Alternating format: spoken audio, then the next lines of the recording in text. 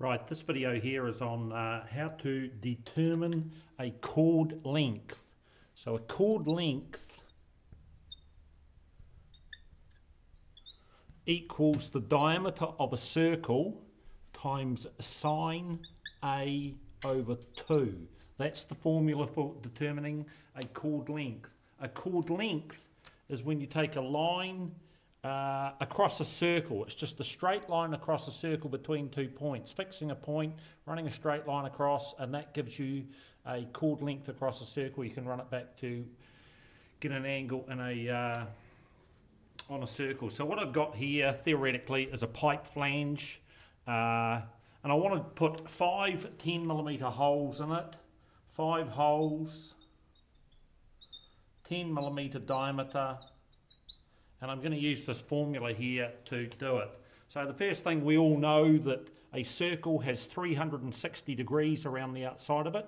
So what I want to do is put the circle or the, uh, the points for the five holes on this median line in the centre and it has what's known as a PCD, a pitch circle diameter of 245 millimetres. So for five holes I need to divide the 360 uh, 360 degrees, divide that by 5. If you do that on the calculator, you find it comes out at 72 degrees. So if I pick a start point, I'm going to go 72 degrees to the first hole, 72, 72, 72, and back to, to the original start point. So if we put this into this formula, the diameter, chord length equals the diameter of 245 millimetres and we're going to have sine A divided by 2. So what you need to do for a start is divide the 72 uh, by 2 and that equals 36 degrees. So it's sine 36 degrees. That's the actual equation that you're going to use. So the 72 would have gone up here where the A is, but you have to divide it by 2 before you uh, use it as a sine function. So I'm going to do that on the calculator. So I've got 245 millimetres times sine uh, 36. Push equals, and that gives me 144 millimetres. I'm going to take my compass, and I'm going to set it to 144 millimetres on the rule that I've got here. You can't see this, but that's what I'm doing. And I'm using this bottom point here I'm going to scribe an arc here, that's 72 degrees. Next one is to this point here, putting my compass on there. I'm on a piece of glass so it can slip, so I've got to be a bit careful. Next one at this point here, and the last one at this point here. And it comes back to the beginning. So there's my uh, five points around the circle. I can centre punch those and go and drill my 10 millimetre hole on the drill press and that's how you can determine points on a PCD using the chord length formula of diameter times sine A over 2.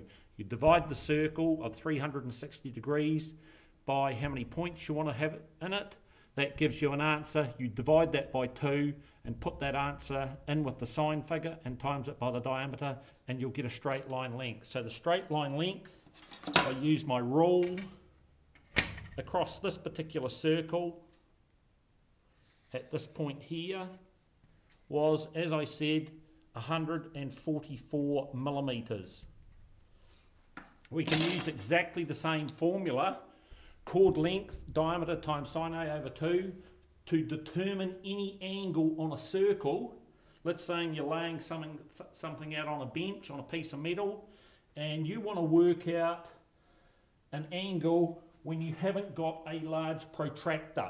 So I've got a protractor here, 180 degrees, it's incremented.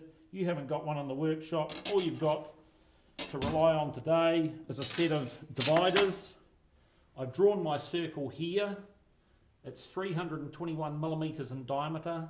And let's say I want to put an angle on here of, just make it up, um, 130 degrees. So the first thing I'm going to do is divide that by 2. So into my formula, I just dropped the uh, protractor. Let's not worry about it. So into the formula, it's going to be chord length equals 321 millimeters diameter times 130 divided by 2 equals 65 degrees. So it's going to be sine 65 degrees. So into the calculator, just going to do that. 321 times sine 65 equals, that gives me an answer there of 290.92 millimetres. So obviously not going to be able to set your protractor or your, sorry, your compass to 290.92. You're probably going to round it to 291 millimetres. So if I set my compass to 291 on my stainless steel roll that I've got here, 291 onto the board here. It's giving me that point there. Put that on there. And taking my line back to my centre. This portion here is going to be 130 degrees. Pretty obvious. 180 would be at that point. 90 is at this point here roughly. There's 270. So clearly I've gone between, um, you know, the 130 and 180, so it's actually accurate. Let's say you wanted to go to an angle of uh, 290 degrees. Well, you can do exactly the same thing. So you're going to divide it by 2 and you have 145 degrees. That's going to be in your formula. So this time the equation would be CL for uh, chord length equals 321 millimeters times sine 145. So do that on the calculator. 321 times sine 145 equals, and it gives me 184 millimeters. So just setting my compass up to that, 184. Now if I put that in there and swing my arc, I mean I could swing it both sides. So just be aware of that when you come to mark it in. Putting that on there, drawing my line in. So clearly this time the angle is going all the way around to this point here. And what did I say it was? It was 290 degrees in this portion here. So this was 270, so I've gone another 20 degrees past. That component there is about 20 degrees, or it is 20 degrees. Obviously it's not on this side because there's the 90. If I was 20 back this way, this portion here would only be 70 degrees. So just think about it when you step it around the circle, that you're actually putting it into the correct zone. But that's how you use a chord length with that formula there. Work out your diameter of your circle, work out the angles that you want, and divide it by 2 and put the number into the actual sine figure, times it by the diameter, gives you a chord length, which is, as I said, a straight line length across a circle from one point to another.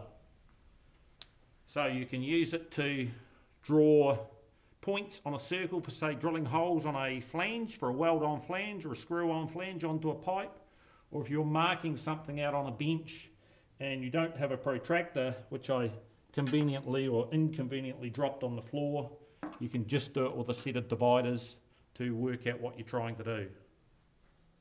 There you go, leave it there.